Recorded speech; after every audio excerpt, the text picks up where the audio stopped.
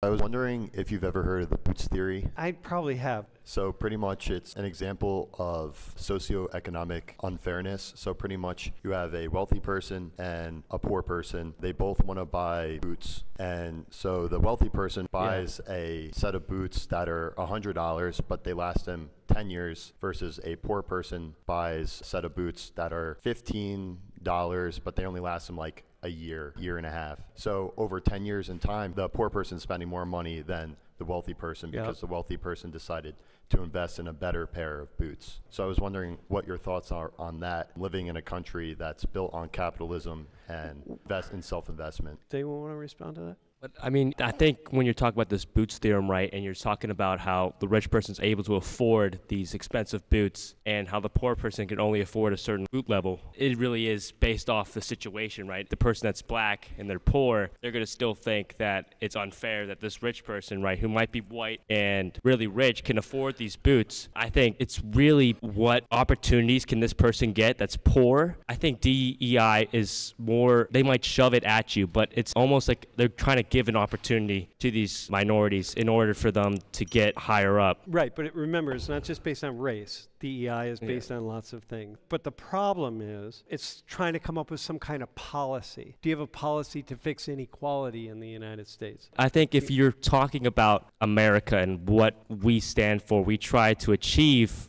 as close as we possibly can to this sense of mm-hmm. equality. Well, I mean, our Declaration of Independence is life, liberty, the pursuit of happiness, right? Everyone could be able to pursue their own happiness in equal sense. And I mean, people in the 1960s, African Americans, including whites, Asians, they fought for the civil rights movement, even recently with the Black Lives Movement. All these people have strived for an equal sense for something that's equal. And I think if you got rid of a DEI program that these people really have worked for for so long, it's almost like you're saying that their work has not come to something One thing to your point, like you could say that it's equality by giving that person an opportunity for the job, but if they're not prepared for it, it's not equal because they're not going to excel. The three words of the acronym diversity, equity, inclusion, Yeah. you can't measure any of those. They're all latent variables. You can't pull up facts or numbers on how No. these people are excelling or not No, and you excelling. and, and in a way you have to do it on an individual basis. You got rich people and poor people. You're going to try to fix them all with one sweeping movement, and you can't do that.